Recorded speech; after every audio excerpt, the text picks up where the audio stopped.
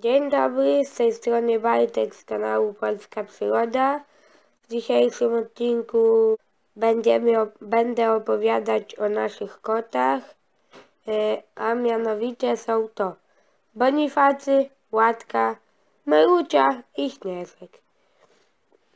Nazwy są poukładane alfabetycznie, więc zapraszam do oglądania.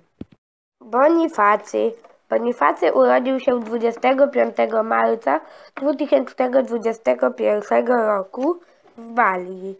Urodziła go łatka. Bonifacy ma teraz prawie 6 miesięcy, czyli 6 lat kocich.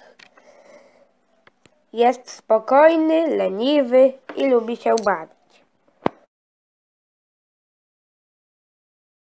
Znaleźliśmy ją na siadzie, gdy sortowaliśmy ziemniaki. 22 sierpnia 2020 roku. Była płochliwa, walczała i prychała, broniąc swego dziecka klejnota, czyli Śnieżka. Łatka nazywała się wtedy klejnotka. Do domu przyszła pierwszy raz w październiku, a całkowicie oswojona została początkiem listopada 2020 roku. I wtedy nazwaliśmy ją Łatka ze względu na jej tętkowane futro.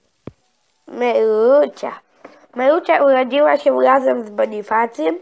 Wszystko było z nimi dobrze, przyjaźnili się i bawili, lecz nie było wtedy Meruci. Jak to nie było? Merucia miała na imię Burek, lecz okazało się, że to kocica i musieliśmy zmienić jej imię. I przyjazna. Lubi się bawić i często męczy. Śnieżek.